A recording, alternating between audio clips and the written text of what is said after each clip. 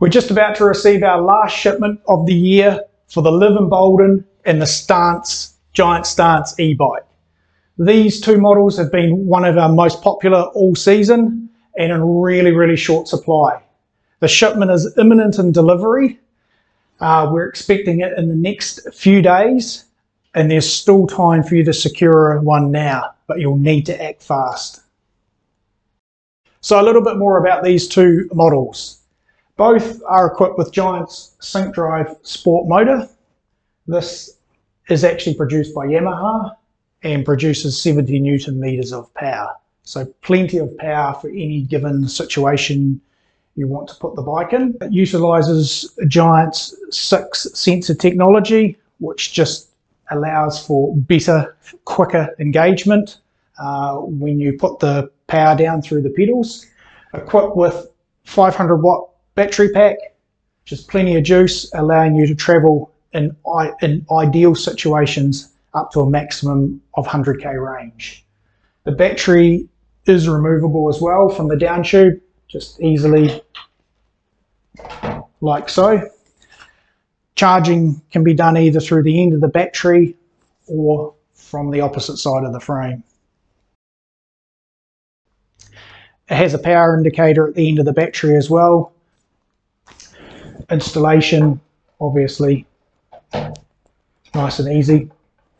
It is operated by a key lock on the other side, so it's nice and secure if you're actually going to leave the bike anywhere.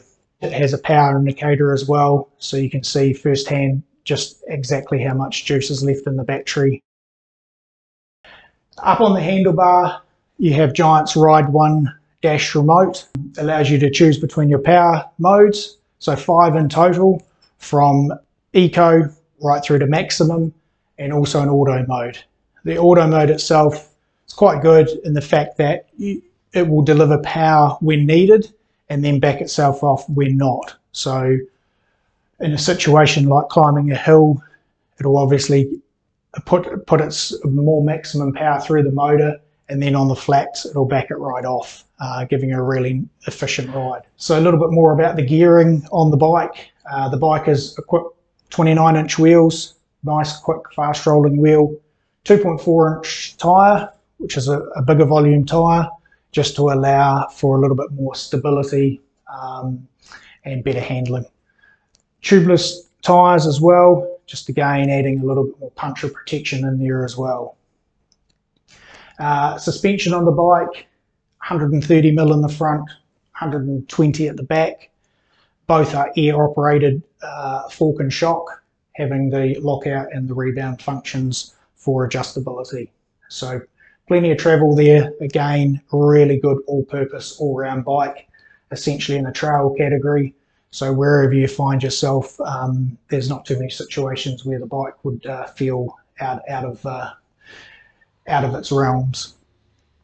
Uh, equipped with Shimano Deore 1x10 Shadow Plus gearing, um, so plenty of gear selection there. Obviously just a single ring on the front with the guide to help uh, retain the chain on there.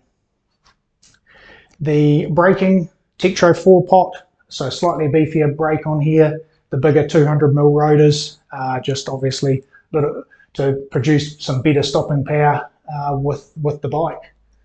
So yeah, all in all, great value package for money. Definitely one of our best sellers. Um, and like we said, the stock is very limited on this, uh, but there's still time to secure a model.